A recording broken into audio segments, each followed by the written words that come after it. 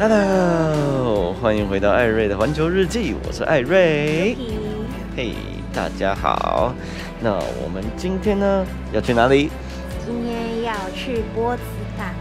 对，我们现在呢，呃，我们原本以为是要坐火车才可以到，对，对，结果后来发现呢是柏林的捷运的终点站，刚好就已经到波茨坦，它是呃柏林的一个近郊。好，那我们今天呢就是要去波茨坦，大概坐捷运的话呢要坐快要一个小时，对，好，大约五十五分钟左右。嗯，那到了波茨坦，到底要去干嘛呢？我们最主要呢就是要去看，啊，传说应该是，呃，德国的罗浮宫。哦，是叫做叫做什么？无忧宫。对，无忧宫。OK。我们主要是看无忧宫，还有新宫，还有就是整个无忧宫的花园等等，好，带大家去看看这个十八世纪的一个宫殿，对，美丽的宫殿啊，也是德国腓特烈二世的宫殿。OK，好，那我们等下就带大家看看到底长什么样子。我们到了，到波茨坦哦。好嘞，我我们终于到了，到无忧宫啦，给大家看一眼，长这样。现在有点背光，不过我们等下就拿进去里面看喽。好，走，出发。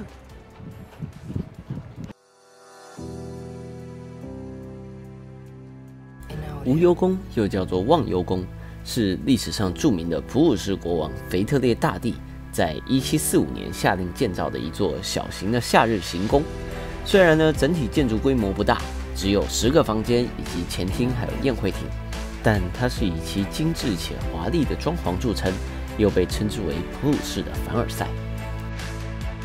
一开始我们走路以白色大理石环绕的前厅，圆顶上画的是罗马女神佛洛拉的画像，这时候大家都拿着导览机，静静聆听着解说。这是小皮第一次来到欧洲的城堡里。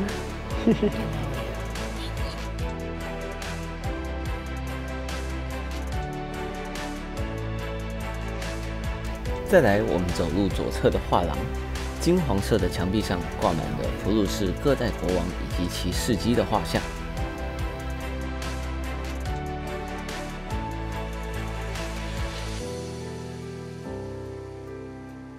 之后，我们依序走过腓特烈大帝的书房、卧室、接见室等，感受大帝平时的生活方式。接见厅后方就是大理石宴会厅，宴会厅也被大理石柱包围，与前厅相互对称。椭圆形的顶上以罗马万神殿为模型，大理石的地面拼贴着葡萄藤的装饰。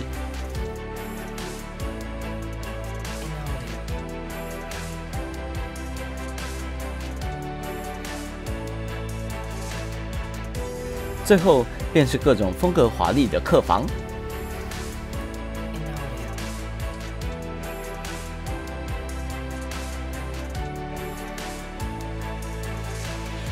OK，那说到了无忧宫呢，肯定就要提一下它的建造者腓特烈大帝。他的全名是腓特烈·霍亨索伦·冯·普鲁士。哎，好长哦。在腓特烈二世小时候呢，普鲁士王国还只是欧洲的一个小国家。他跟他的父亲腓特烈一世在个性、为人方面呢都非常的不同。二世特别的喜好文学、艺术以及音乐。为了反抗父亲强加的政治联姻，他曾经试图啊逃往英国，最后失败，被父亲抓回。之后呢，在一世的专制独裁的教育下，学习了军事以及政治。一七四零年，一世逝世后，腓特烈二世登基。他大刀阔斧展开一系列的改革，包含了开放言论自由、分配粮食给国民、禁止私刑等，也在法律上呢增加了各阶层的自由，取消了阶级制度，让低阶层的人呢也有机会任职法官、文官等。甚至啊，他将自己他最爱的无忧宫，只要在冬季他不住这边的期间呢，市民只要穿着得体就能入宫参观。一七四二年，二世上任。刚满两年，他就主动进攻奥匈帝国的北部，并且成功的并吞了物产丰富的西里西亚省，也就是现今波兰的西南部地区。一七五零年，普鲁士因为与英国交好，惹得一直在海外跟英国抢殖民地的法国对普鲁士交恶。这时呢，之前被普鲁士打败的奥匈帝国马上跟法国结盟，还拉着东边的沙俄帝国准备一起灭了普鲁士。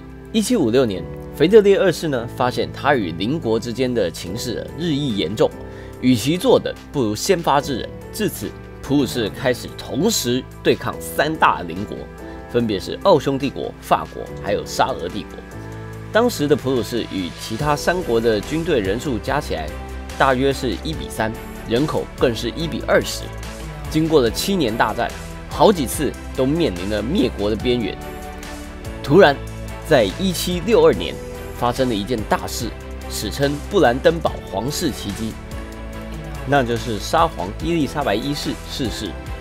因为伊丽莎白一世并无子嗣，所以呢，继任的是他姐姐的儿子彼得三世。而彼得三世的父亲呢，叫做卡尔·腓特烈，是一个普鲁士人。所以新任的沙皇彼得三世其实也是半个普鲁士人。据说他根本不会讲俄文。彼得三世上位后，就立即停止了俄军对普鲁士的进攻，甚至命令俄军听从腓特烈二世的指挥，反击奥匈帝国与法国，最后结束了七年战争。自此，腓特烈二世一打三，而且成功获胜，这让他赢得了腓特烈大帝的称号，更是树立了战争天才的个人荣誉。而普鲁士王国也成为欧洲的五巨头之一。好啦，那我们刚才就参观完无忧宫啦，还蛮有趣的。老实说，我觉得它里面那个讲解真的很棒，很棒。对，说了非常多的故事。嗯然后，每一个房间都有好多个小故事。对，然后它刚好就在每一个房间，所以它就可以介绍每一个房间的它的壁画啦、它的装饰啦，对啊，或者是它当初的生活状况啦等等的。对，不过它里面有一个小故事，我有查到，但是它没有说。什么什么故事？就是它里面是不是有说到，就是说，呃，这个无忧宫它最初的建造者，它的设计图就是我们大家所称的腓特烈大帝嘛，嗯对不对？好，那腓特烈大帝呢，他在小时候呢，呃，故事里面有讲到说，他小时候为了躲避他爸爸的这种呃强势的军事化教育，啊所以他就跟着他的朋友绕跑，嗯对不对？他们就想要逃到英国去，结果被他爸爸发现被他爸抓回来了。嗯，OK，其实他跟着一起跑的这个人呢，并不是他的朋友，那是谁？是他的情人。他其实是个 gay，哦，对我知道他后来是因为父亲的压力，然后就是被迫联姻嘛。对他他联姻，就是他最后还是有娶老婆，对对，但是他这个联姻是属于政治联姻，也是父亲压力下他被迫同意的。嗯那为什么他会同意呢？也是因为他爸爸直接把他这个好朋友两个人一起抓回来以后，他爸把他好朋友杀掉，就其实蛮惨，他是有这个悲惨的青春。